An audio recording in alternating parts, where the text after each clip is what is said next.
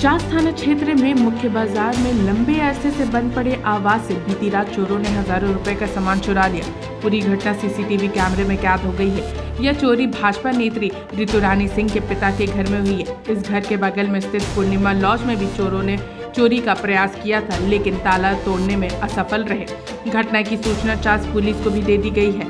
Police CCTV footage के सहारे शीघ्र ही मामले के उद्भेदन करने का दावा कर रही है। मकान मालिक के परिजन रोहित के मुताबिक चोर सीसीटीवी फुटेज में दिख रहे हैं। चोरी की घटना से इलाके में भय का माहौल कायम है। तकरीबन 12 साढ़े बारह के बीच में हमारे घर में पीछे से एक संदिग्ध कैमरा में जो हमारे घर में प्रवेश करता है और दो अढ़ाई घंटा चोरी को अंजाम देता है। इसमें हमारे दादाजी और दादी का जो मकान जिसमें वो रहते हैं नीचे में, वो रूम काफ़ी दिनों से बंद था।